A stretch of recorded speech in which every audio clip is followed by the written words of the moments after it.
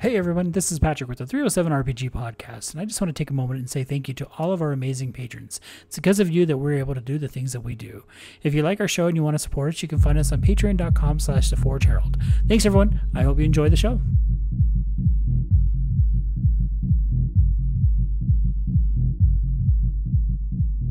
Hello everyone. Welcome to another episode of the 307 RPG podcast. I'm Patrick.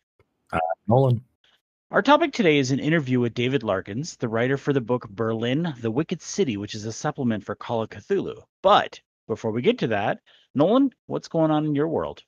Not a lot these days. We had to work this weekend, and so didn't get as much time for gaming as you always want. Uh, falling down the rabbit hole of, hey, it's nice outside. Let's be outside and playing disc golf, and a few games here and there when we can sneak them. Yeah, or when we can throw discs in the creek. Yeah, that's mostly what we do. We're going to become fishermen next. So exactly, but with nets, so we can just hook discs. We don't care about the fish. We just want the disc back. Mm-hmm. I, you know, I haven't played a whole lot of video games either, um, or games in general. I have been playing Diablo three, messing around with the Demon Hunter this season, but nothing too heavy. I'm, you know, trying to get get those legendary gems uh, leveled up, and and of course realized after talking with you that I've completely reforged my shit incorrectly. So I was working on that a little bit this morning. Nice. Yeah, as I say, uh, Lord of the Rings has had all kinds of stability issues lately and server issues, and half the worlds been down and up. And anytime I try and play, I get maybe like 20 minutes before I start rubber banding around the world and kind of just unplayable. Uh, Kin chat or guild chat in their game is uh, broken right now, so you can't even talk to the people. I mean, it's I don't know what their issue is right now, but they're having some pretty detrimental uh, playing issues. So might be time to switch gears and maybe go jump into SWTOR for a month or something. Well, and it's you know kind of perfect timing that that we are ha- that they're having that situation, and I'm just kind of haphazardly haphazardly messing with Diablo because it is getting us out of the house and it is getting us, you know, like you said, playing disc golf and just doing something outside instead of constantly sitting inside. But we like inside, so this is a big change for us. Yeah, yeah, it's weird. It is, but it's been fun. Yeah, other than that, I just not a lot going on for me, that's for sure. Okay, so let's take a look at uh, the news. So 307 RPG news as we near the end of July, I am excited. We are excited to announce our theme for August, Rage Through August. All through the month of August, Nolan and I will be talking about the game Werewolf the Apocalypse. We will be joined by some werewolf experts, uh, mostly the hosts of Werewolf the Podcast, uh, as well as breaking down some of the aspects of the game. This is going to be very similar to what we did in February with our Mage Brewery event. It should be a lot of fun, and it gives both of us a chance to learn about Werewolf. I'm pretty excited excited. What do you think, Nolan? I'm looking forward to it just from a standpoint of it's still kind of the dark world, but being on maybe the other side of it. I don't know. I, I, werewolves kind of have at least at least they're trying to protect something, whereas a lot of the vampire clans just want to burn it all down. So it is probably a little closer into the vein of what I'm used to for role playing and storytelling games. Um, at least not being diabolically evil and playing the long game and stuff. So I, I, think it'll be fun to look into it and see maybe that it's not as uh, you know, ho hum, these are the good guys as uh, I give them credit for, and, and seeing the layers that go with that. Because I know we met some pretty dark ones through the Giovanni Chronicles. Um, but I don't know if they were dark because they were bad or if they were dark because um, uh, we were on the wrong side of the faction. So uh, I can't remember what it was. There was the the evil cave or whatever that was had the evil feel in the shadows outside of London or something like that. And I was like, okay, this is a lot creepier than I gave werewolves credit for. So I don't know if they're good guys, bad guys, or just yeah. Looking forward to it. So in the Giovanni Chronicles, the the coterie, if you will, uh, come across. I believe this is in the second book. Come across a cairn of Black Spiral Dancers. Now, if you're a fan of Werewolf, you know right away that the Black Spiral Dancers are the evil werewolves. This is the White Striders, I believe. Um, think that's what their tribe was called, who thought that they could end everything, they could, could destroy or end the Battle of the Worm by almost unanimously going into the the Umbra and attacking the worm. Well, they failed. They failed miserably and were completely corrupted. And it's almost corrupted because of their hubris, uh, and eventually became these twisted.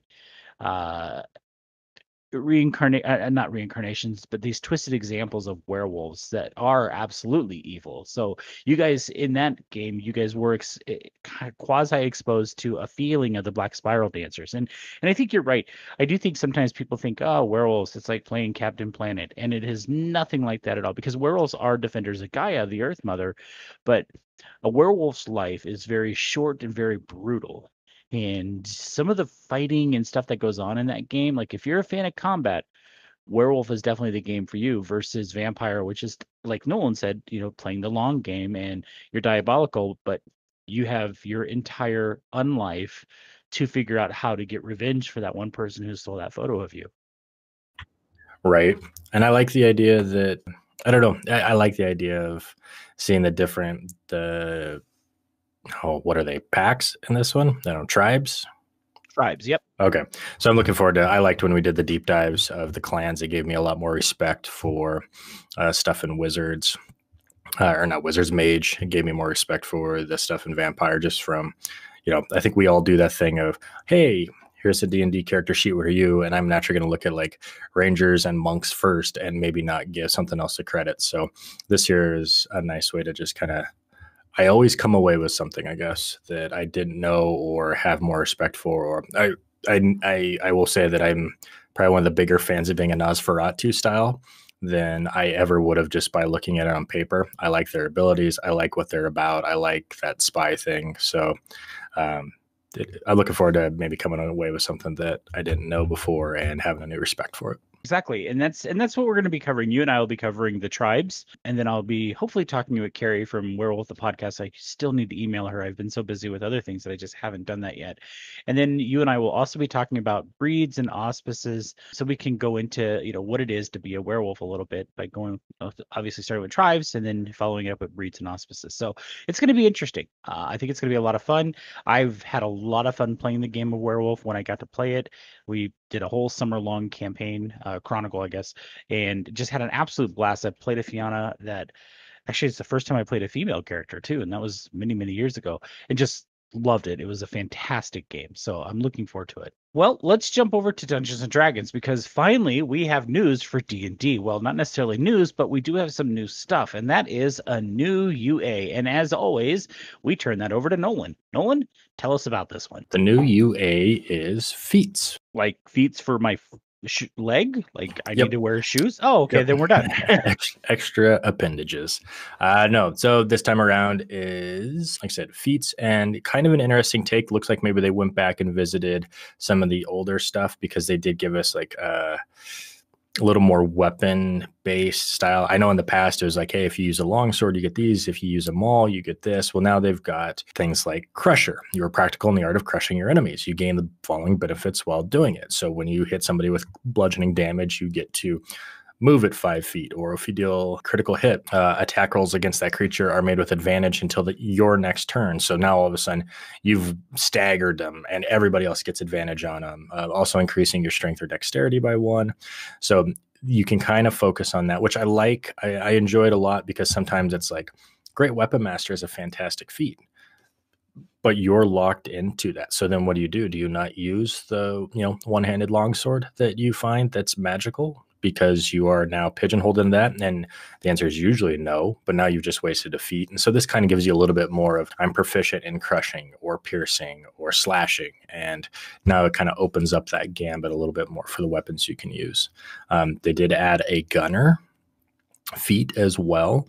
Um, so I think the idea behind some of this is getting you an opportunity to bring some of that stuff into different classes as well. You know, yeah, I want to be a ranger, but I don't want to be bow. I want to take guns without taking gunslinger. So they kind of open up some of that. And what we see with that as well is they did create uh, the fighting styles. So as long as you're proficient with a weapon, you can pick up a fighting style of your choice, which uh, rangers, uh, paladins, swords bards fighters all get like dueling defense uh, two weapon fighting.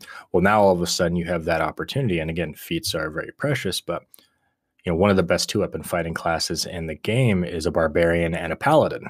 Uh, paladin late game just because of their ability to add 1d8 radiant to all their attacks but they never get the fighting style uh, barbarians never get a fighting style at all. So now all of a sudden you can take this feat, add dueling, add two weapon fighting, uh, just to basically make it so now I not not everybody's doing a one level dip of fighter to pick up that for free. Um, they did do a couple things with some skills, which is nice. They added a chef, uh, giving some benefits to uh, the ability to cook. Um, and your ability to uh, help your party as well a little bit. So, uh, with one hour of work, when you finish a long rest, you can cook a number of treats equal to your proficiency bonus. These special treats last eight hours after being made. A creature can use a bonus action to eat one of these treats to gain temporary hit points equal to your proficiency bonus. So, again, it's one of those, you know, we've got a couple of really decent skills in this game right now, and this here gives some fun and flair to having those utensils. Um, couple of big ones, I guess, too. I mean, it, it's really packed for just about every faction, which is really nice for every class. Um, I saw a lot of people were excited about Poisoner, and now uh, when you make a damage roll, you ignore resistance to poison damage because everything in the game has resistance to poison. Uh, you can code a weapon in poison as a bonus action instead of an action. You gain proficiency with the Poisoner's Kit if you don't already have it. With one hour of your working uh, using your Poisoner's Kit and expending 50 gold pieces worth of material, you can create a number of doses of potent poison equal to your proficiency bonus. Once applied, the poison retains potency for one minute or until you hit with the weapon. Uh, when a weapon is coated with this poison, it's a Constitution saving throw of 14 or take 2d8 poison damage. So again, another opportunity to bring in, you know, they've got disguise kits, they've got poisoners kits, and they rarely come up. And poison's kind of been lackluster, and it's it's a pretty big deal for a lot of people having that ability to work with poisons. So bringing that in is fantastic. What else? The other big one, uh, meta magic. They they so that way you don't have to dip into sorcerer. You can take that as a feat and give you a chance to pick up your wizard to now all of a sudden have a quicken or extend um, which is nice. Or even as a sorcerer already, take it again to pick up a couple extra sorcerer points. Uh, wouldn't be too bad. One of the ones that I thought was probably the best that I could see a lot of classes taking was Eldritch Adept. And this allows you to uh, take a feat. And in doing so, you can pick up an invocation from the Warlock class the big ones that come to mind is like uh, a lore bard picking up agonizing blast with eldritch blast and now all of a sudden your lore bard which is one of the best reaction defensive classes in the game with a huge you know tons of skills all of a sudden became a really good blaster which is pretty huge now all of a sudden you're checking out eldritch blast just as good as a warlock and now you probably have a pretty good character um, the other thing on that I liked was uh, one of the early Eldritch invocations is Disguise of Many Faces, and lets you do or Mask of Many Faces, and lets you cast Disguise Self at will, which I thought would be a fun one for you know if you were playing a rogue or something like that. And all of a sudden you you literally are a master of disguise because you got the magic to boot, and it's not costing you a resource, and you could just literally pretend to be a changeling. I mean, I thought that was really cool and yeah, uh, some shield training, some stuff where you're attacking with each other, and bonuses to help actions, some tracker stuff, some shadow stuff, uh, some extra expertise things. I mean, it really had a bunch of stuff, and I'm hoping that we actually see this kind of stuff in a book. You know, we've talked a little bit about not having a. Uh, it's been a while since we've had a. Uh, what was it? Xanathar's Guide to Everything. So hopefully we're right. getting close to one of those where they bring in uh, a slew of feats, maybe some more magical items, some of these classes we've been talking about for so long. And hopefully, this isn't stuff that is going into the next, you know, Magic the Gathering source book or something like that. So. I thought it interesting you mentioned that cooking feat. It really reminded me of being able to prepare a feast or buff food in World of Warcraft. And and we've had that conversation before. We're, we have seen a lot of that with uh, Pathfinder where like when you're taking a rest like okay who's cooking the meal? Are you proficient with it? Awesome. Okay go ahead and roll. Yeah you made a great meal and everybody's well rested. Everybody gets plus one to their saving throws for the next 24 hours because it was that good of a meal. Who's on watch you know? Okay you've got two people on watch. You had a 80% chance of something to happen. Now it's down to 20% because you guys are on guard you know? And having those abilities that usually like okay you guys lay down for the evening. Is there anything you want to do? No all right, you guys wake up in the morning. You know, it's, it's just one of those like, oh, it's like a Minecraft. You lay down in a bed and it fades to black and you pop up and it's morning. And this year gives a little bit of an opportunity to maybe take fight, fight, fight, fight, rest, fight, fight, fight out of the game and have some of those moments of wow, like I really appreciate your cooking skill, like because it helps me throughout the day. You know, there, there's just those little things of like, are you gonna, you know, all of a sudden it's like, well, so and so is cooking because they're amazing at it, and I always feel better after they cook, and I don't know how. It must be magic because that's amazing, and it becomes a part of the game. And I think that's a good way to do it. I like you've mentioned that to me before with how it's done that way, and uh, it'll be neat to if we see anybody take these feats in our game, especially as we gear up preparing for Icewind Dale. It'll be neat to see if that happens, and and of course it comes down to the players remember to saying, "Hey, I you know I have this feat. This is you know I'm going to prepare this meal, and this is what I'm trying to achieve." So hopefully people remember. I liked it. Anything else with that UA? I don't have anything else with it. I like I said, I liked it. I I enjoy I, I will say that I enjoy the idea that now I can pick up some of these class abilities without having to multi-class because I am the biggest fan of multi-classing. I feel like that's how you get the character you want to play. If you want a little more fighter in your rogue, uh, I want to play the guy from Princess Brides, that sort of thing this allows me to use some of those feats and pull those in without deviating. Uh, and in the end, I think you end up with probably a stronger character because you, you know, you're still landing those big sneak attacks. Now I'm a rogue. You know, I've picked up two weapon fighting or dueling or defense. I've customized it a little bit more to where I want, and I'm not poaching stuff from every class in the game to try and get the the fighter that sings to me or the character that sings to me. Uh, I think it'll be fun. I think some of it's a little broken. Um, but again, I think our uh, the biggest thing I've learned these days is if you're trying to win, the moment you stop trying to win a D&D is when you win D&D. So make something, make it dominant in combat, go nuts, whatever. But also remember, it's the little things in between blowing stuff up. Like, don't get me wrong, I'm the first person that'll ever rush to try and hit 100 damage because it it's pretty sweet. But I'm usually also the first one that fails a saving throw and gets locked into a, a time warp prison force cage sort of thing as well. So pick and choose your battles. Hit him for 100 damage once and sit out the rest of the fight, or just be that annoying little sneaky guy that controls and dominates. This here will give you an opportunity to kind of mix and match and not dip too much. I I have always like when we first started playing D&D again, I, I think I told you that I hated multi-classing. I just I felt like it was just people trying to game the system and and you kept saying no, this is the way I'm trying to build the character that I want to build. And I and I always thought bullshit. but you know, the more I see it and the more I read about the UAs and the more you and I talk about it, the more you've definitely won me over.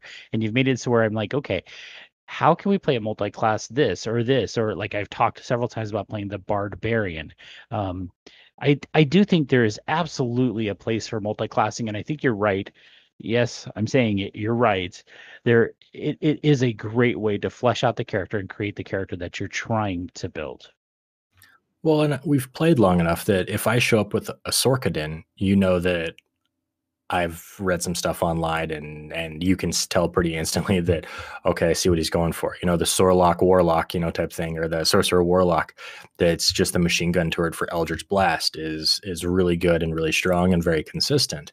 Um, I like playing those things because they can bail a team out, but I don't also go with the meta where I, I my favorite Sorlock that I've played so far has not been an Eldritch Knight or an Eldritch Blast chain gun machiner. It's been a healer that has something to do during their downtime and also has the ability to basically save those resources, not to Nova a boss and try and kill it in one round, but to bring the party back from the brink of death. And I, I like that thing of I like pushing those boundaries. Again, the the Barbarian, uh, Barbarian's fantastic. They are excellent, excellent grapplers by themselves.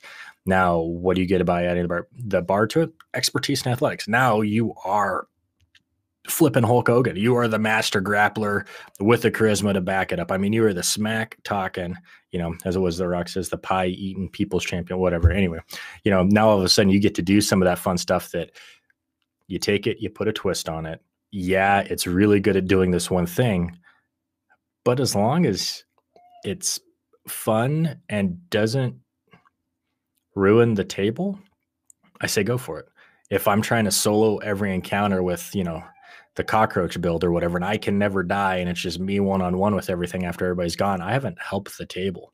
I haven't done anything. And so, you being a master, you know, athletics guy that's got guys in chokeholds and and putting them in full Nelsons while the rogues, you know, getting advantage and, and sneak attacking them. I mean, I don't think anybody's ever going to complain that you are too good at grappling and helping the team. you know, you're too good at healing. You've saved our lives. Get out of my table, you know. But people say, wow, you did 120 damage that round, and then you did 150 damage the next round, and the boss is dead, and I only got to go once, or I cast my buff spell and didn't do anything.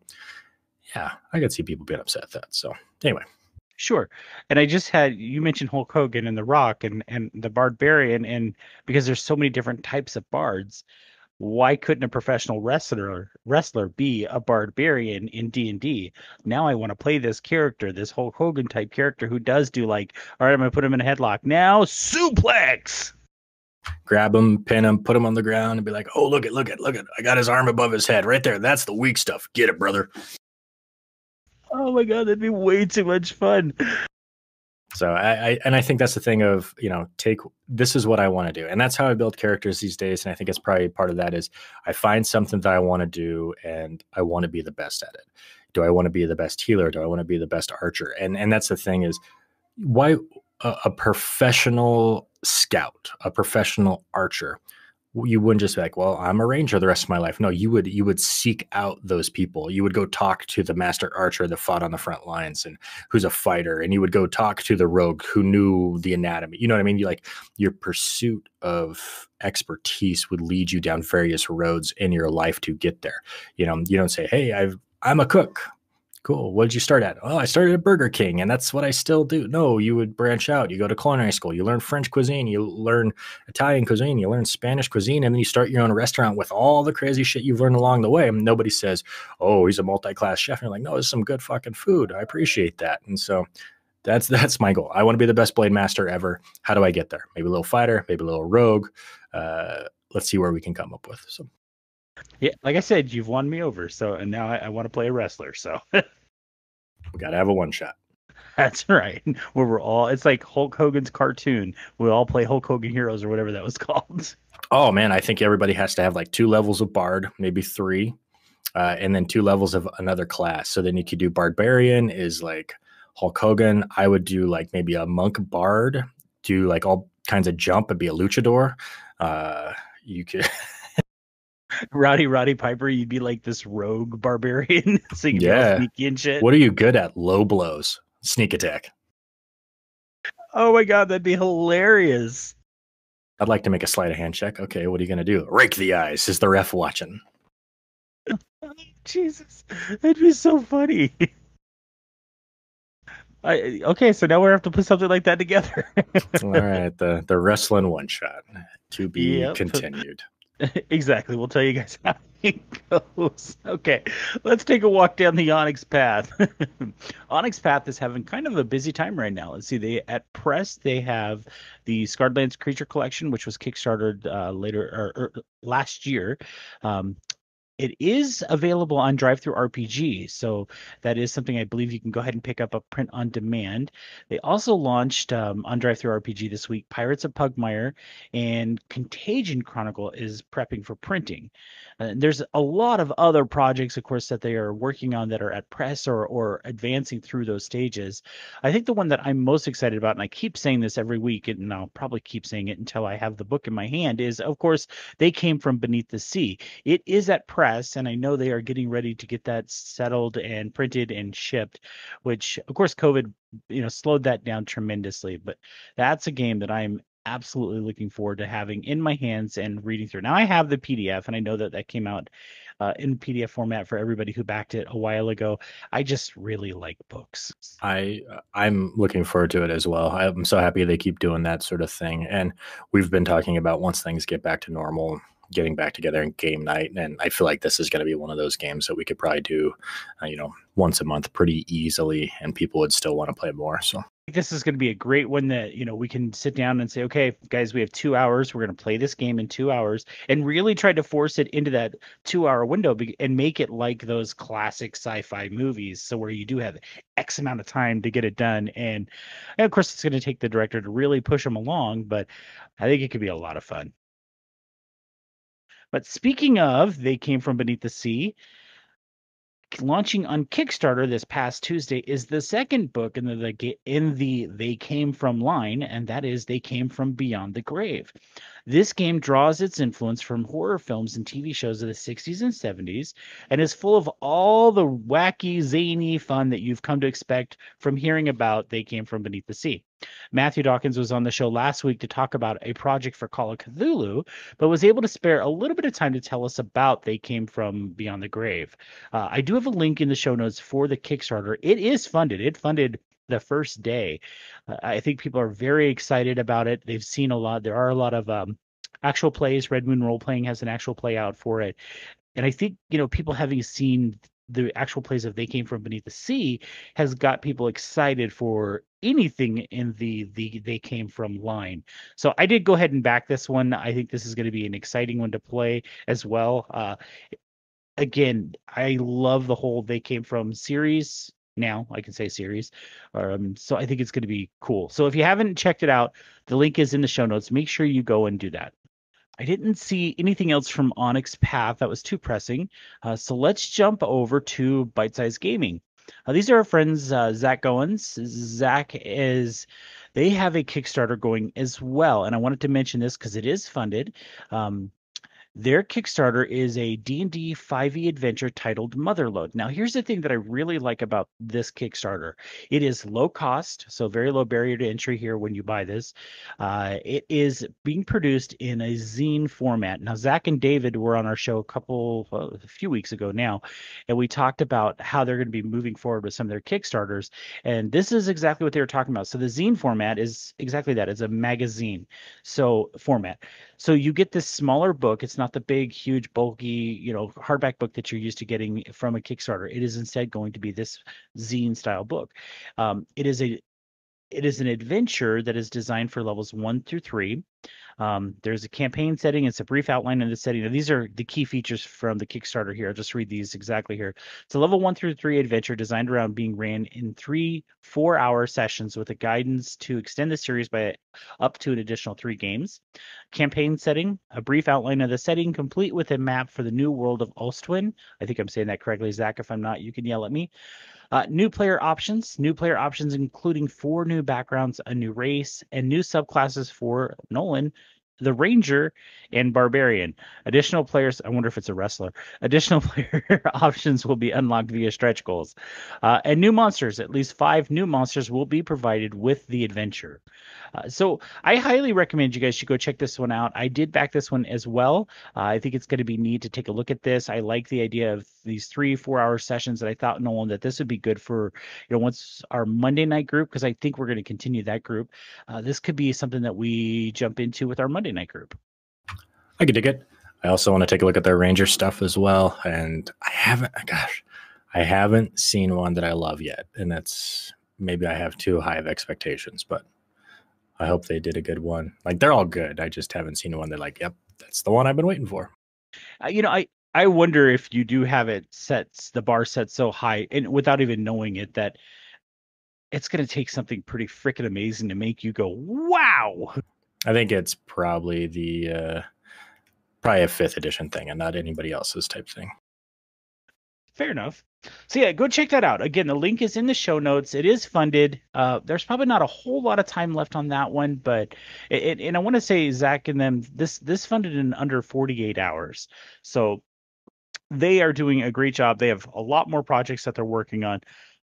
Highly recommend you go check it out over at Chaosium, it looks like we have a couple of new products, uh, new in, I shouldn't say new as in new books, but new in how they're being printed. The printed and deluxe version of Harlem Unbound, the second edition, is now available. Harlem Unbound is an award winning source book by Chris Spivey at Darker Hues Studios for Call of Cthulhu. Uh, it is available in that deluxe edition. I'll get into deluxe edition in just a second because there's a few of them here. Also available in deluxe edition is Call of Cthulhu Dark Ages. I think, sorry, it's called Cthulhu Dark Ages. Uh, this gives keepers the tools to play Call of Cthulhu in the Dark Ages time period. And then, of course, there's Rune Quest, The Smoking Ruin, and Other Stories, also being released in deluxe edition. Now, I had the chance to speak with David Larkins, who, uh, again, you'll be hearing that interview here in just a little bit, about the deluxe edition of these books. These are kind of a faux leather cover, and they tend to be a little bit more expensive. I think the Berlin, the Wicked City book that David and I were talking about is right around $90. Now, I know some folks love buying those collector's editions, those deluxe editions. Uh, for me, they don't work only because I only will buy one copy of the book. So if I buy a deluxe edition, I'm going to use that book and I'll probably end up messing the book up in some way because I use it. Nolan, what are your thoughts on these deluxe collector edition books? It's really hard to, like you said, it's hard to use them, I think is the big thing. And usually they get passed around, usually they're needed by other people. And that makes it really tough to try and like you said, maintain quality. Right. I, I'm I'm very particular about my books. And I, I think about like the Vampire the Masquerade Fifth Edition um, deluxe edition book that you and I have both looked at multiple times.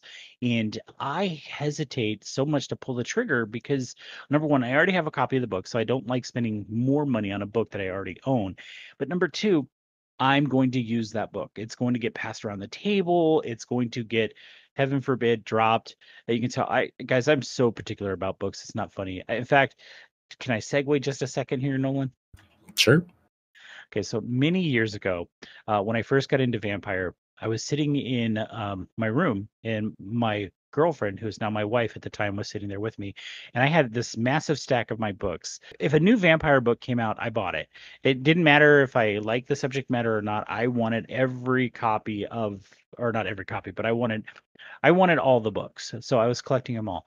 So I was sitting there, and the my wife had this 32 ounce cup of iced tea and somehow it got hit and dumped all over my books. I think like it probably splashed on seven or eight books. While i think tea staining is cool it's not what i wanted to happen to my books. So i got i was i was a little upset. I didn't yell or anything like that. I was just like, "Oh my god, my books." I I love books and I tend to try to take care of them. So these deluxe editions, I think they're awesome. I think I'd love to if somebody gave me one, I'd I'd be thrilled, but it's just not something I can go out and buy because I know I'd ruin it. Yeah, you, uh, you have to like it. I think I read all of the the Drizzt books when I was younger uh, in paperback because I fold and break down the spine, and I love them so much. I went out and bought the the hardbacks and tried to collect all of them, and they've never been opened. So it's uh, it was a cool idea. It's not so much fun when you decide to move, but uh, I got them, I guess. So that's good. Until you, like you said, until you move, and then you're like, why did I buy these hardback books? Exactly but they are gorgeous and, and, i highly recommend you go over to chaosium.com and take a look. They are fantastic. In fact david larkins and i were talking about these books and he says he doesn't own one um, not even of his own book which i tell you what if it was my book i'd probably go ahead and own one. Yeah i can see it. I, and again go through play it see it you like it. Maybe you do decide you want to have it on your shelf you know after you're done yeah. with it so. yeah could be well, Nolan, that is all I have for this week. Am I missing anything? Do you have anything else? I don't have anything. Uh, it's been super hot and super quiet, and we're just trying to get through. So next week we will start off our Rage Across August. We we have an interview with Josh Heath from Werewolf the Podcast. So and that's a fairly lengthy one. So we'll have that for next week. And then after that, Nolan and I will be taking a look at the breeds, or sorry, the tribes of werewolf. And then, of course, we're going to be looking at Werewolf 20th Anniversary Edition. So, not to get confused with any of the other uh, versions of the game. Well, with that being the case, let's jump over to our topic of the night. So, our topic of the night is an interview with David Larkins, as I mentioned earlier. David is the writer of the ENnie Award nominated book Berlin, the Wicked City. This is a supplement for the game Call of Cthulhu. David is a writer, a developer, and a line editor for the game King Arthur Pendragon, which we get a chance to talk about. David is here to talk about his book Berlin, the Wicked City Call of Cthulhu, which you can purchase at your friendly local game store or on DriveThruRPG. Uh, the link is in the show notes. You can also check out some of David's actual plays uh, with his group, the Esoteric Order of Role Players. Again, the link is in the show notes. And if you'd like to contact David, I do have his email in the show notes. With that, let's jump over to the interview. David, how are you doing this evening? I'm doing really well, thank you. Thanks for having so, me on. We are really looking forward to having you as we d- jump into our month-long look at Call of Cthulhu, and we we want to talk at length about your book, Berlin: The Wicked City. But before we do that, tell us how it is that you got into Call of Cthulhu. Well, I originally uh, purchased the uh, fifth edition rulebook about 30 years ago now. Just kind of, I mean, I immediately fell in love with the game, but I mostly used it for horror one shots, every Halloween, that kind of thing. And um, it really wasn't until about uh, 15 years ago or so that I started to run it in a more extended fashion. And I, I, discovered that, contrary to what some people on the internet will claim, which is that Call of Cthulhu really is only suited to a uh, one shot style uh, gameplay where everybody goes mad and dies at the end. In fact, the game really shines the most when it is played in an extended campaign format. And, you know, I just started running longer form campaigns 10, 15, 20 sessions. And what I discovered is that uh, the more players get attached to their uh, investigators, the more they get freaked out when the investigators are uh, put in danger. And so since then, I've run Horror on the Orient Express and Cthulhu by Gaslight campaigns, Arkham County, Miskatonic University campaigns, and uh, yeah, I just really fell in love. with I think it's interesting you say that that it really shines over those long campaigns, but there's quite a there's quite a risk to your character, even more so than say games like Dungeons and Dragons, because at least with D and I can just well, if I have to, I can resurrect you. You in in Call of Cthulhu, and and I'm basing this on the one time that I've gotten to play this amazing game, is that you can die horribly from horrible monsters, or, or quite seriously go insane, and your character is no longer playable. That is true how does that lend itself to a long campaign? One of my uh, maxims as a as a keeper, which is the Call of Cthulhu term for a GM, is um, never kill when you can maim. Uh, so, and that that can be physical or or psychological. You uh, what what you do is you just kind of drag it out a little bit more, and so you you um, facilitate the characters in their descent into uh, madness and and isolation and uh, it really it, it, it heightens the horror uh, for sure. And um, it, it is a risky game from a mechanical standpoint. It, it encourages players to play smart. Uh, some people will even say if you find yourself in the middle of a fight in Call of Cthulhu, you've already lost. Uh, now, certain variations Call of Cthulhu, like Pulp Cthulhu, that's not necessarily the case, of course. But certainly, you don't want to just dive into uh, something without uh, mapping it out first and that's where the investigative aspect of the game comes in you know you want to make sure you you investigate as much as you can beforehand to you know, protect yourself as much as possible going into this hazardous situation Well Cthulhu takes place primarily, and correct me if I'm wrong, in the early 1900s uh, up to the 1930s when it actually transitions, as you just mentioned, to pulp Cthulhu. Is that correct?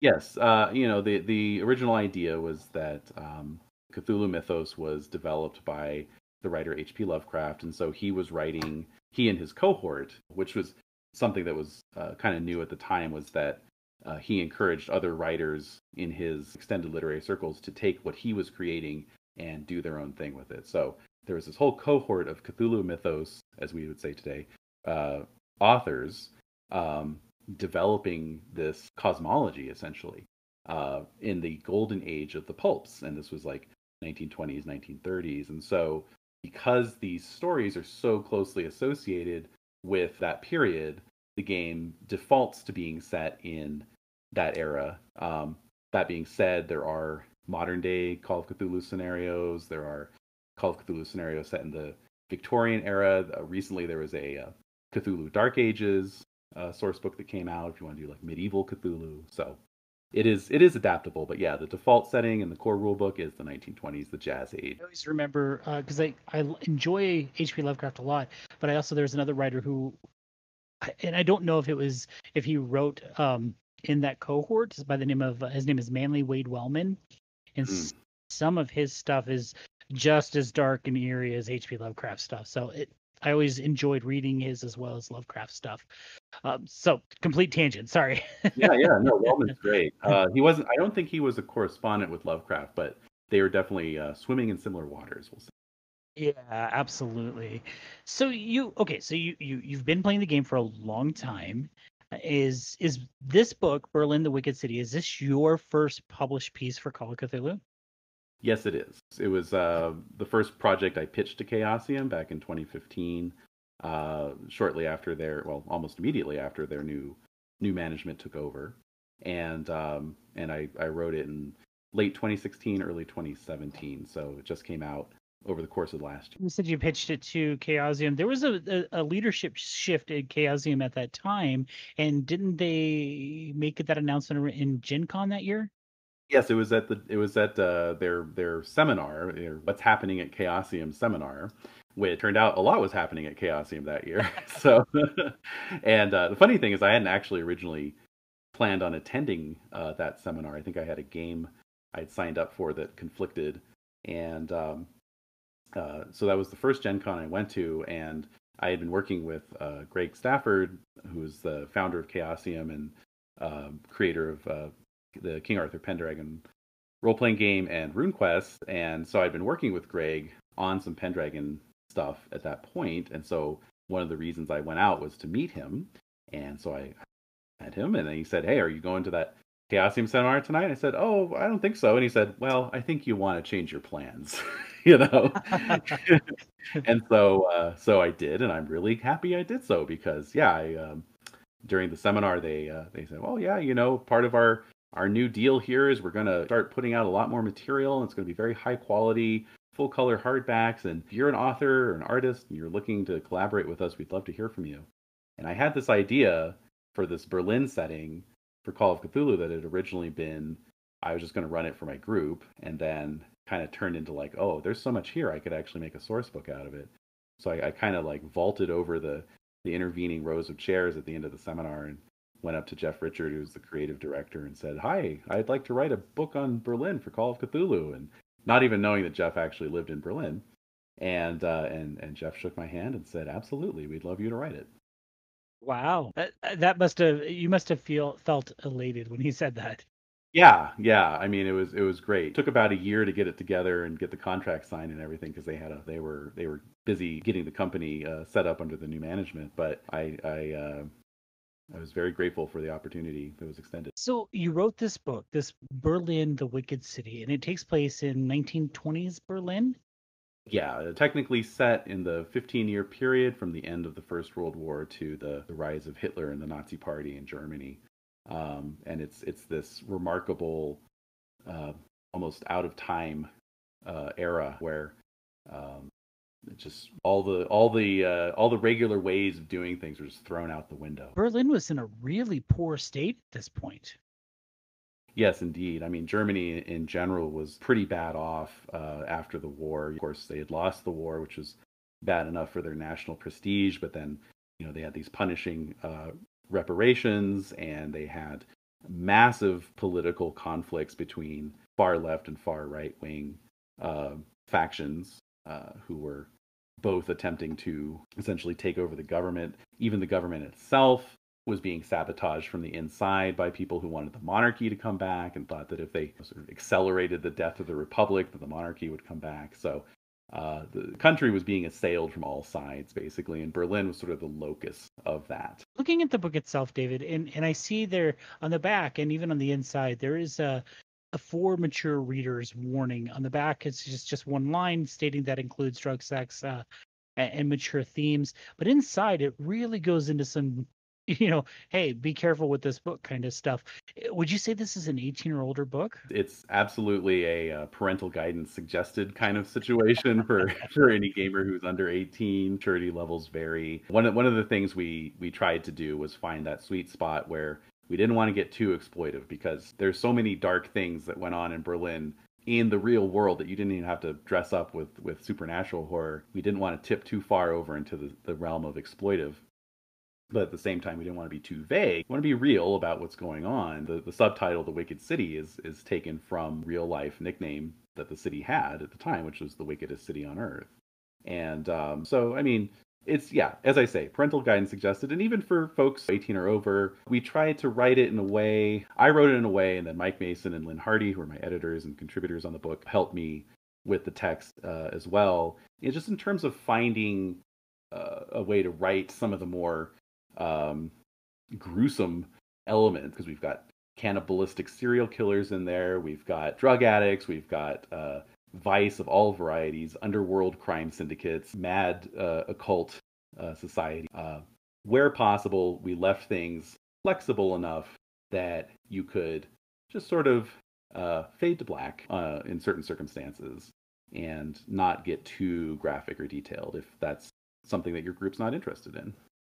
How much research did you have to put into the history or, or of Berlin during that time period? That was uh, definitely the most fun part of writing the book was the research um, because there's there's a fair amount of English language uh, resources, and my my German uh, speaking ability is not so great these days, but I can I can still read German well enough, and and so I could get into some of that original German language uh, material as well. But for example, I found a uh, Baedeker's tourist guide to Berlin from 1928 that you know gives you all the details on the hotels, how the mail works, how the Oh, wow. uh, how the taxis work, how the public transit and and stuff like that. So it gave me a lot of good just the kind of stuff that gamers want to know about, right? It's like how do I hail a taxi in Berlin? How you know where do I go if I want to find specific information on such and such? You know. Uh, and then yeah, there's been quite a bit written about seamier side of Berlin, and so I got into that. But really, when I started to write the scenarios, that's when the research really actually took the lead for me and was like kind of showing me, hey, okay, so this is connected to this, and I I really felt like an actual like Call of Cthulhu investigator, like on the trail, turning over stones as I went, and every stone I turned over seemed to have more and more gruesome details to include. And eventually I had to kind of decide, okay, well, I need to just stop at this point because otherwise I'm going to write a 500 page book, you know, and uh, so actually have some some uh, material that I hope to to get out to the public some format in the future that was kind of on the cutting room floor, but 275 page book and uh, it's still I couldn't fit everything in. It opened the door for little scenarios or even uh, extra micro books, if you will, for this for this setting. Yeah, exactly. So yeah, I'm hoping to maybe start releasing some of those in the future. Uh, horror role playing can get pretty intense for the players as well as for the the people who are running the games, be it the keeper, GM, whatever you want to call it. But as a writer, you really have to dive into this and, and wrap your mind around it so you can present it to those who are reading your book. Did it ever get too heavy? Uh, yeah, I mean, it, it, it was very heavy, and uh, the way that I, I processed a lot of it was just to regurgitate it back into scenario content, which is maybe why, you know, some of the scenarios. Uh, is where the mature content label came from, right? Um, but you know, I had some sleepless nights uh, in the course of, of working on the book, and um, and had to take a break after writing the first draft, which I kind of did in one big long month long streak and then I, I, took a bit of a break and then started running the playtests and sending the playtests out to other groups. Um, but yeah, it was um, it was kind of an all-consuming thing. I, I, was lucky at the time because it was the only thing I was working on that in that uh, winter of 2016 to 2017. So I was able to to focus on it exclusively, which I think just kind of helped me power through it. Honestly. To be fair, you live in Santa Fe, New Mexico, so come on, winter's not that bad for you.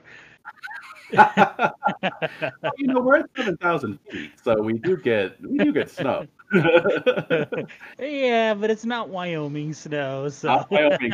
That's one of the reasons I live here, not Wyoming. but but you know, here's here's the thing. I I because I've traveled all over and and I know like I've been in Texas, like South Texas, and it's snowed at, like in San Antonio, and oh, I would rather be in Wyoming with snow because people at least know how to drive in the snow in Wyoming. Got it. Oh man, absolutely. so sorry, complete tangent there. So let's talk about the book itself. So what do people get when they buy your book? So, uh, like I say, it's 275 pages, uh, full color, and quite attractive, if I do say so myself. Uh, In fact, you know, speaking of attractive, it is it's been nominated for two ENnie awards. Congratulations! Thank you so much. Yeah, best cover, which is very well deserved by uh, Loic Muzy, uh, and then best setting. That's that's incredible. Congratulations. Thank you. All right, so dive into this book. Tell me what it is I'm going to get when I buy your book because I already bought it. well, I'll, I'll, tell your past self. Um, yeah, that, exactly. so, so what you get is is in the book. It, it's really more or less falls into two halves, and the first half uh, is is exclusively setting information. It was important to me that the book not just be uh, rote scenarios that you just run and then you're done. I wanted to have enough material in here that people could say Berlin is my home setting for my Call of Cthulhu campaigns, and everything I run is going to be in and around Berlin, and that includes like original scenarios that I'm developing. So I wanted to give people enough material in the book that they could do that. So the the first half got a brief history of the city, and then there's the the sort of urban geography, you know, the the way the city uh, developed and the different neighborhoods. Uh, Berlin's one of those one of those cities that that has very distinct parts, and uh, and especially in the 1920s, depending on which part of the city you're in, you'd have a completely different uh, experience of it. Uh, obviously, lots of information on the Berlin underworld and um, everything that's going on with that the organized crime rings, the prostitution, which was just a massive, massive part of the city reality. And the, Berlin was a destination for sex tourism. And because of the state of the economy and also just the sort of cultural dislocation that had occurred after the war, I think about a quarter of the the city's uh, female population uh, used prostitution, at least in part, to support themselves. Um, and um, yeah, it's it's pretty it's pretty um, unbelievable. Um, and then uh, some fun bits too, like I have a random cabaret generator. You can roll d20 a few times and uh, cook up a cabaret based on actual clubs that existed. You can mix and match from the different columns. Uh, I have a random city feature generator, so you can kind of roll up. You're in a random neighborhood. It says, oh, what's the architecture like here? What are some of the sites on the street? That kind of thing. And then um, also details for native German investigators. So like particularly German backgrounds, like if you want to be a, a, a political street fighter, something like because basically every political party, including like the centrist party, had their own paramilitary wings. Okay, oh, and wow. so yeah, you know, it was it wasn't good because they it was like, well, we got to get ours, you know, we got to get our bodyguards. These guys got bodyguards, and so I mean, it really was this like factional, undeclared war that was going on pretty much throughout the entire period.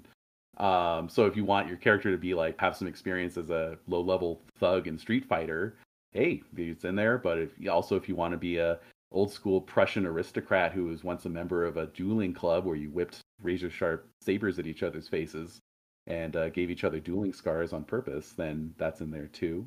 There's investigator organizations uh, ranging from a, a plucky, uh, almost bankrupt film crew to a, a, group of pathfinders, which was sort of the um, uh, German equivalent of the scouting movement. So if you want to do like your kind of Scooby Doo adventures in Berlin, which is perversely bizarre, uh, you can do that. Uh, and then details on many of the historical personae that populated the city uh, artists, writers, political figures, of course, philosophers, scientists like Albert Einstein lived in Berlin pretty much right up until uh, Hitler seized power. Uh, so you know, you're I've I've had playtests where the investigators go and consult with Einstein about this little problem with the uh, time space continuum that they've run into. You know, so uh, that's all in the first half of the book. And then the second half gets into the mythos horror aspect. And so we've got uh, some cults that you can throw in, we've got some scenario seeds that you can develop. And then we've got this uh, three main scenarios, uh, each of which are, are pretty pretty meaty if you ran them together as a linked campaign, which you certainly could. Uh, you're looking at several months of gameplay probably. And uh, one of the things we did with those scenarios is we used those as a jumping off point to describe Berlin in even greater detail. So, like other notable uh, people from that era, like Aleister Crowley or Anita Berber, who was this kind of rock star actress who was born 50 years before there were any other rock stars kind of uh, situation. Um, she's just she's an amazing historical figure that everybody needs to know about. So she's in there. And details on the occult underground in Berlin, the various esoteric orders and so forth. So um, that's it in a nutshell. it's a big nutshell, sir. It is. It is. It's hard to condense. and there's a couple of ways that you can purchase this book, not just the hard copy. Tell us about the different ways that you can actually buy the book. Yeah, sure. So um, we always like to uh, encourage folks to uh, patronize their local game store if they have one and they can do so safely. And a lot of game stores uh, participate in the program with Chaosium, where if you buy a hardback at the store, you'll get a coupon code that you can send into Chaosium. You'll get the PDF for free. Um, but if you prefer to buy online, you can go to chaosium.com.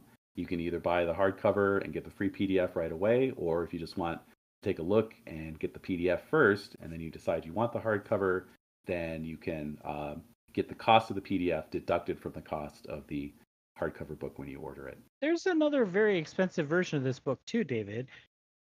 Yes, Don't there leave that out. I shouldn't. You're right. The leatherette edition. uh, which you know, I mean, I, I have a friend local to me who uh, who bought it, oh, and so it's. Uh, I like to say it's for the folks who who liked a little bit of class in their uh, RPG collection. yeah, and and I'm that kind of person who I would buy a book like that and I probably ruin it because I use my book. So it's not a good one for me to buy, that's for sure. So with with the popularity of things like Critical Role, we're seeing a lot of people getting into role playing, very specifically Dungeons and Dragons. As mm-hmm. you know, and as I know, there are there are a lot of amazing games. Some of them which have withstand the test of time, like Call of Cthulhu, like RuneQuest, and like Dungeons and Dragons. What would you say to that person who is standing in the game store, kind of sideways looking at Call of Cthulhu? What would you say to them to get them hooked? I, I I would pitch to them that you know if they're looking for a game that focuses a little bit more on investigation, solving mysteries, and getting a bit of spine tingling uh, horror out of it in the bargain. That's what they want to look into. It, it's it's definitely a big change of pace from D and D, and I think for some people that's exactly what they're looking for. And really, nowadays it's uh, easier than ever before to get into Call of Cthulhu because not only is there a free quick start PDF on the website you can download, it comes with an introductory scenario, The Haunting. Uh, check that out. But also there's a starter set which uh, gives you all the rules you need to play, including character creation, uh, the solo adventure Alone Against the Flames, uh, which you can use to teach yourself the system, and then Paper Chase, which is a one-on-one, two, uh, one one keeper, one player scenario. You can bring a friend in, teach them, and then Edge of Darkness, which is a full group uh, scenario that you can then run for your expanded group. And there's, um, I think I mentioned pre-gens, uh, set of dice, handouts, everything you need, fully playable. And uh, really, I mean, if I was talking to this person and they were eyeballing Call of Cthulhu, I would recommend they check out the starter set for sure. Okay, so what about that person who's played Call of Cthulhu for years? Maybe they took a break and they're looking to come back to it because maybe they were like me and they somehow lost all their RPG books and are trying to get some of them back. But they played in, say, fourth edition Call of Cthulhu. Call of Cthulhu is currently on its seventh edition. What if they have some trepidation about making that transition? What would you say to that person? I mean, if the trepidation is based on not really knowing what changes occurred, because seventh edition did make the most significant changes to the game, but that's really not saying a lot because the previous editions of Call of Cthulhu were more like kind of textbook editions, not not so much like D and D editions where there were major changes from each edition. Uh, the, the previous editions, Call of Cthulhu, you know, just kind of tweak things here, tweak things there. Seventh edition did introduce some extra like actual rules, like pushing a skill, which is something you can do, like if you fail your initial spot hidden or library use skill or whatever you know this is things that uh, in the past people would say well that's going to shut down your your clue trail your investigation. And uh, by pushing your roll you get a second shot at it but you also open yourself up to disaster because it's literally making a second try like in the game. And it's something that like the keeper can say okay well you can push this but if you fail your candle's going to light the old archives on fire or whatever you know you're going to fall through the rotted floorboards if you keep jumping up on them that kind of thing. And so it it it makes it interest. It makes failure interesting. Uh, it, it it advances the story whether you succeed or fail. There's an optional rule for spending luck so that you can actually blow through your luck uh, points uh, to succeed right away, but then live to rue it later on when the keeper calls for a luck roll and you have almost no luck left. Um, just a lot of little changes. Sanity system uh, is a little bit more, I want to say, uh, I, I, should say a little less cartoonish maybe than it was in the past, a little more believable in terms of like mental trauma and a little bit more respectful of that as well. And but also generates really interesting outcome in terms of what happens to your character when they go insane. So yeah, I would just highly recommend anyone who wants to check it out. It's the same game you remember, but in my opinion, it's better because the things that were maybe a little creaky in the older editions have been shored up and strengthened. Can I just pick up your book and be able to play? Uh, yeah, I mean, you could definitely. If you if you know uh, Call of Cthulhu, obviously this is a setting book, so you need either the starter set or the Keeper's Rulebook to, to play Call of Cthulhu in general. The main scenarios in the book are, like I said, big scenarios. So I wouldn't actually recommend a first time keeper running those scenarios because they'll probably get kind of overwhelmed. But you can always take you know, you can take the haunting from the quick start rules and just drop it into Berlin because it's a haunted house. You know, haunted house can be anywhere. So if you if you just drop in this haunted house and you've read through the first part of the book that tells you a little bit about the setting, so you can change a few few little details just to make it fit in a little better. Hey, run it in Berlin. But you do need to have the keepers at least the keeper's handbook first. Yes, uh, yeah, or the or even the starter set would work. Yeah, this is okay. this is a setting book, so it doesn't have any of the core rules in it. Gotcha. Looking at the book, David, I have to ask, who are the Esoteric Order of Role Players? Ah, well, that is my that is my home group, and uh, we do uh, an actual play uh, podcast, and so there's a lot of um, Call of Cthulhu content on there, uh, including the complete playthrough of Horror on the Orient Express. I did playtest the uh, Berlin scenarios with them, but those are not uh, out on the channel since those were playtest sessions. So, uh, but yeah, there's a lot of Call of Cthulhu content on there if you want to listen to an actual play of Call of Cthulhu. Uh, also, if you're, you know, you mentioned Critical Role earlier, they did do a Call of Cthulhu one shot. So if you're more familiar with those folks and you want to see how they handle this game, that's perfect opportunity. Penny Arcade did one, uh, and then Chaosium has its own Twitch and YouTube channel where they do actual plays as well, including uh, two of the scenarios from Berlin. Question. That's kind of where I wanted to go without without giving away any spoilers. Um, what what can people expect from the scenarios? Well, like I said, the scenarios um, go into even more detail about the city, and they do so in a way that takes you on this journey through um, pretty much every every facet of the set. You interact with uh, with with criminals and and underworld types, and you interact with uh, Russian czarist exiles, and you interact with uh, cabaret promoters and film producers, and just all manner of, of various characters that populated the city. It also takes you on a tour of the different eras that Berlin went through. So, like in the early 1920s, this was the era of hyperinflation almost a post-apocalyptic uh, existence where uh, people, I mean, like I said, you know, massive political unrest, massive economic disruption, kind of relatable nowadays, you know, but but. Uh, uh, but but even on an even greater scale. So you're sort of exploring the city through this in this very uncertain and volatile time. And then the second scenario is is uh, sort of the mid to late 20s when things have stabilized and Berlin's really earned its reputation as this vice capital of the world and there's a lot bringing people in who are like morbidly curious tourists coming from all over the world it's actually a great period to bring in investigators from america britain other parts of the world i, I think uh, the third highest demographic for tourism in berlin was japanese people you know so oh, wow. i mean you could yeah, you could be coming in from pretty much anywhere. But that scenario really focuses on like the cabaret culture, probably the most famous part of Berlin in this period. And then the uh, the third scenario is set in this sort of gray and shadowy, uh, somewhat oppressive uh, Twilight era, right before the rise of the Nazis, uh, when basically everything is just gonna you know burst like a soap bubble. This illusion, this magical world that people have been living in in Berlin for 15 years just goes boop. In the uh, historical personage chapter, I put the years that people are in residence in Berlin and I want to say about three quarters of them at least. The, the final year is 1933. Everyone just packed up and got out, went somewhere else because they're like, this is, I can't, I can't go on living here. Uh, you know, I am now an enemy of the state. So, um, yeah, that's the third scenario is, is kind of reflecting that energy. David, we've talked quite a bit about Call of Cthulhu but you're involved with some other games as well. What can you tell us about the role playing game King Arthur Pendragon? Yeah, that is my my sort of main vocation right now. I'm the King Arthur Pendragon line editor for Chaosium.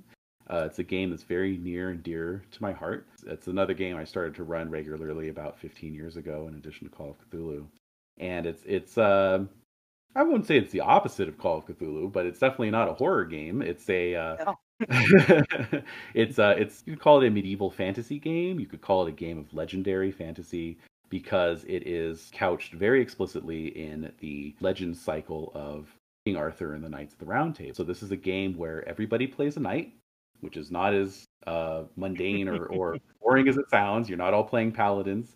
Uh, in fact, the point of the game is to find out uh, what kind of knight you are as you all collectively pursue glory and ambition in the context of this larger uh, myth cycle that's playing out.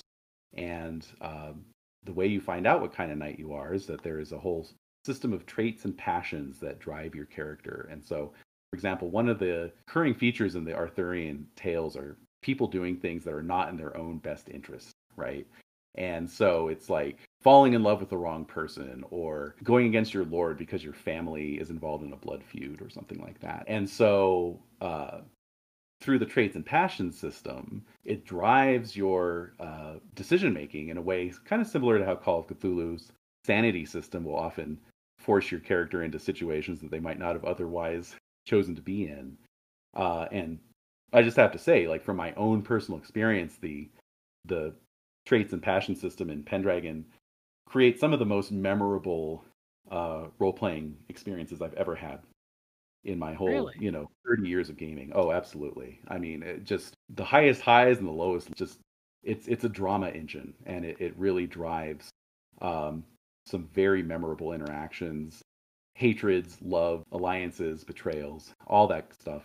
And even more so because the game can be played as a multi-generational sort of dynastic exercise where uh, with the Great Pendragon campaign, which is the supplement to the core rulebook, you've got the whole 80-year arc of King Arthur's uh, saga from the time of his father Uther to fights Mordred on the fields of Camlan.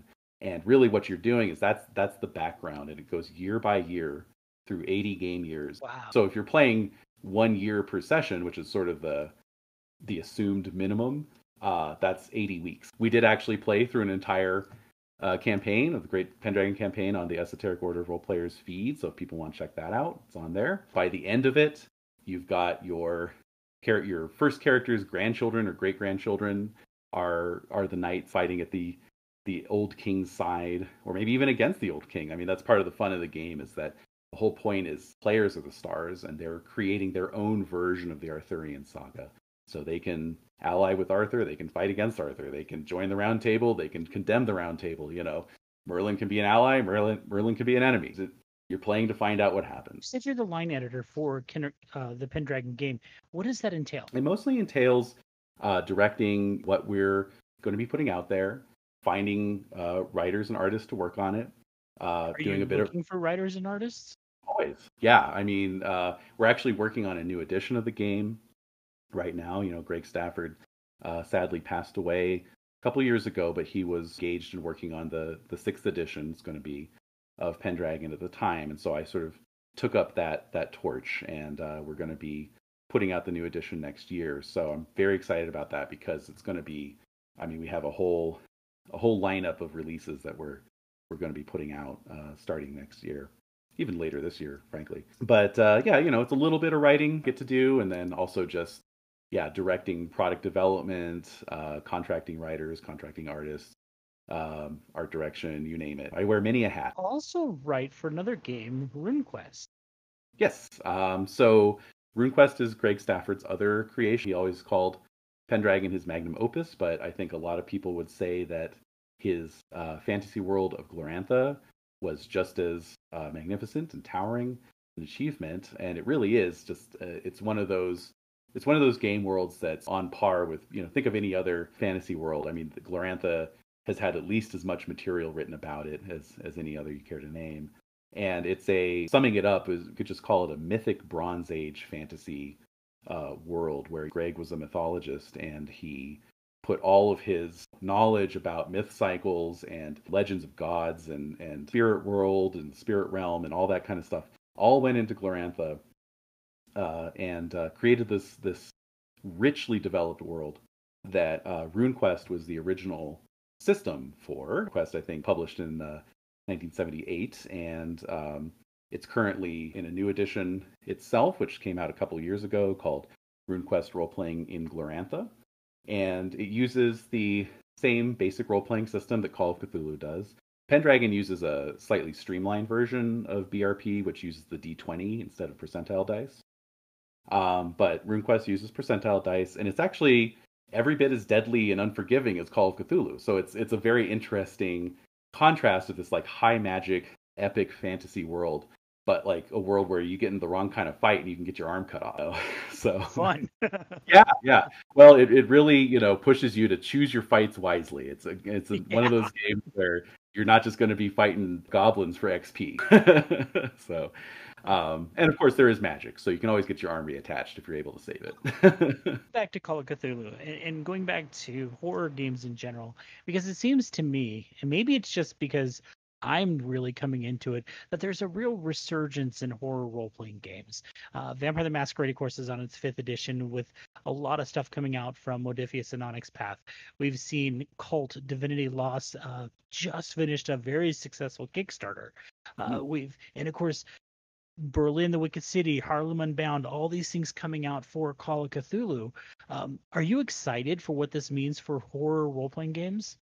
Oh yeah, very much so. I mean, I, I love Pendragon. Obviously, it's my that's my main gig, and I was I was honored when Greg, before he passed, was sort of handing handing the game off to me to to run it, and wouldn't have it any other way. Having said that, I love Call of Cthulhu. I love writing for Call of Cthulhu, and I love horror games as well. I've played a lot of Vampire the Masquerade myself, and so I, I I don't know. I don't have the numbers to back this up, but I would surmise that the horror genre is certainly in the top three, maybe even the second most popular genre after fantasy. And um, right, yeah, you know, I I just think that's great. I I think it's wonderful that there's so much material out there. You mentioned that you you also played Vampire the Masquerade. What are some other games that you enjoy playing? It's it really is you know Pendragon, Call of Cthulhu, and Vampire. Vampire largely because my wife loves it, and uh, so we we play a lot of that just one on one. You know, call them duet games. A lot of those are on our podcast feed as well. Um, and um, those are definitely my top three these days. Um, and I, I, mostly will will will dabble in other systems. For example, we're going to be uh, playing uh, the old uh, R. Talsorian game Castle Falkenstein this summer, uh, which should nice. be fun yeah, you know. I, I, I, try to I try to mix it up and play a lot of different games, especially if I can play in the game. I'm going to be in a Monster Hearts uh, campaign as a player coming up pretty soon, just to, to kind of keep up with what's with what's out there. Because the more games you play, I think the better a game writer and game designer you are. Completely agree. Do you prefer to play or do you prefer to be the keeper? It's funny. Like when I first got into gaming, I definitely came into it from the perspective of like, wow, I can't wait to be, I can't wait to have like a a cool fighter who like gets to 20th level and like builds a castle and has his own land and all that kind of stuff. Sure. Very quickly I had to make adjustments because I was the only person in my like cohort who was into this. And then like, hey, you guys want to play? And they're like, yeah, if you're gonna run it for us. I'm like, okay, I guess I'll teach myself the game and run it for you.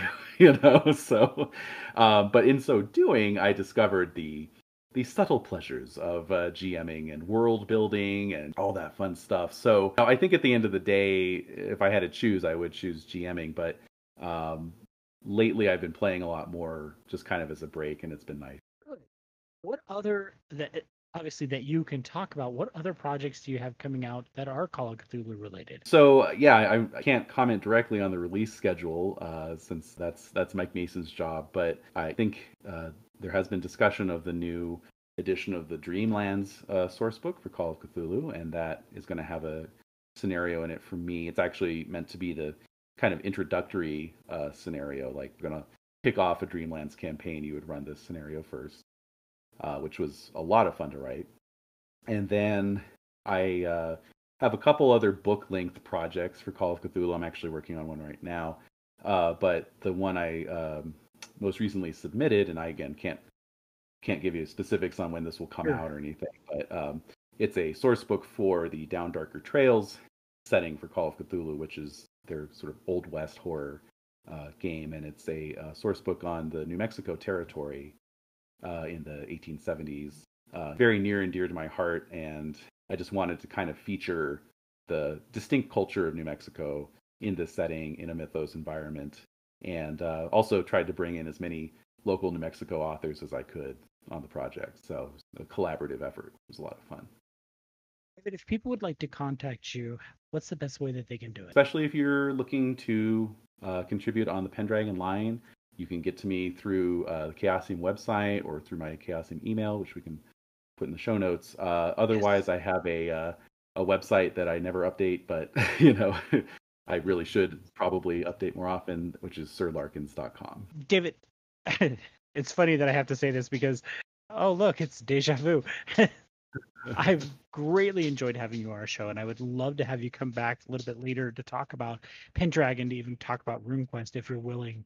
But either way, it has been wonderful to have you. We are really excited to do this look at Call of Cthulhu for this month long project that I'm working on. Um, and I'm hoping that we can get other people involved in the game. So thank you so much for joining us. Absolutely. It's been my pleasure.